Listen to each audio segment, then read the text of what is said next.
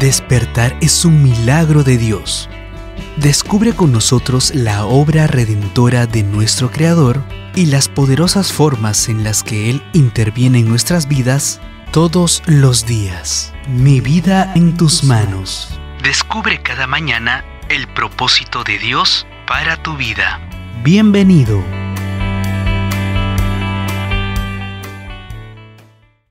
Dios te bendiga, te saluda Miguel Páez deseándote la bendición de Dios en tu caminar. Hoy 30 de enero quiero hablarte de aptos para lo bueno. Dice la palabra de Dios en el libro de Hebreos, el capítulo 13, versículo 20 al 21. El Dios de paz que resucitó de los muertos a nuestro Señor Jesucristo os haga aptos en toda obra buena para que hagáis su voluntad, haciendo Él en vosotros lo que es agradable delante de Él por Jesucristo, al cual sea la gloria por los siglos de los siglos. Amén.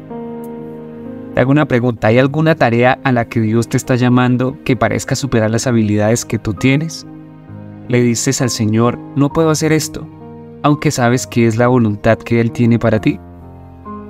Mira, Dios te llamará a emprender tareas difíciles porque te está enseñando a no depender de tus propios dones y habilidades. Más bien el Señor quiere que aprendas a descansar únicamente en Él. Él quiere fortalecer tu fe, desarrollar tu carácter y transformarlo a la imagen de Jesús. Por lo tanto, si creemos que Dios nos ha llamado a hacer algo para Él que consideremos demasiado grande, es probable que tengamos razón.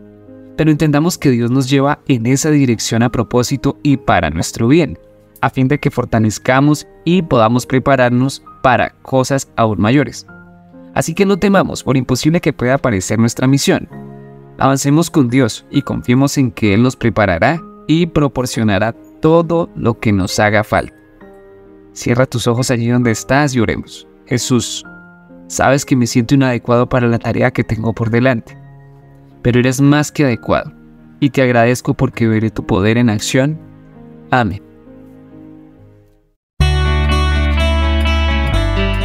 Dios nunca te olvida, es fiel y amoroso. Su paz está presente en todos tus momentos. Mi vida en tus manos. Te esperamos mañana muy temprano para animarnos y levantar nuestro ánimo y amor con Dios.